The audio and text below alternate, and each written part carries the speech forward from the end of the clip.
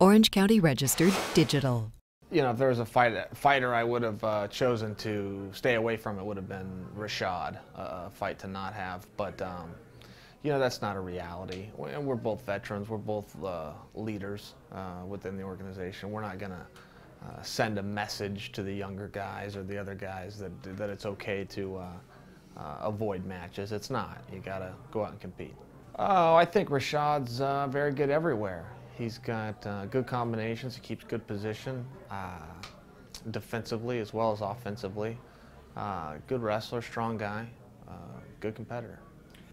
I haven't given the fight a, a ton of thought. Uh, you know, I know we'll both go out there and, and work hard, and one guy will win. But you know, I'm a I'm a fan. I'm such a fan of the sport, and um, yeah, I can't wait for the whole card, and specifically the uh, the main event. It's, a, it's the toughest fight uh, Georges has ever had. And it's, it's the true number one contender in Johnny Hendricks. So, you know, it's the toughest fight Johnny Hendricks has ever had, too. It's, it's just a really good match, and uh, I'm, I'm very curious to see what happens in a, a number of different positions and areas. Uh, that's probably more what I'm thinking about. I'm, I'm looking forward to the main event.